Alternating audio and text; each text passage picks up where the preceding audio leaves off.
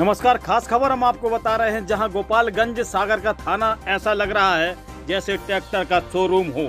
लेकिन यह सत्रह ट्रैक्टर और एक पिकअप जो है, पुलिस ने पकड़ने में सफलता हासिल की है और तीन लोगों को जो है, इसमें गिरफ़्तार भी किया गया है। हम आपको बता दें, कहीं ना कहीं यह ट्रैक्टर की जालसाजी लंबे समय से चल रही थी, जहाँ सागर के कप्तान हैं तरुण नायक जिनके मार्गदर्शन में टीम बनाई गई और यह ट्रैक्टर जो है, पकड़े गए हैं। इसकी कीमत एक करोड़ पैंतालीस लाख बताई जा रही है। सबसे बड़ी बात बता दें आपको, तीन आरोपियों को भी पकड़ा गया है, जिसमें महेंद्र गौर, सौरभ सोनी और नीरज साहू द्वारा यह ट्रैक्टर जो है बेचे जा रहे थे। और फर्जी दस्तावेज़ की भी बात आई है। यह जालसाज जो है पुलिस ने पकड़ने में जो सफलता हासिल की है आपके लिए यह खबर तुम तक न्यूज़ के माध्यम से हम आपको बता रहे हैं।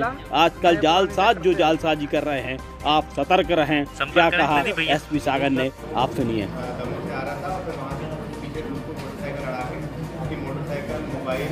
और अन्य दस्तावेज़ जो उसके पास थे वो आरोपी के द्वारा आवेदक थे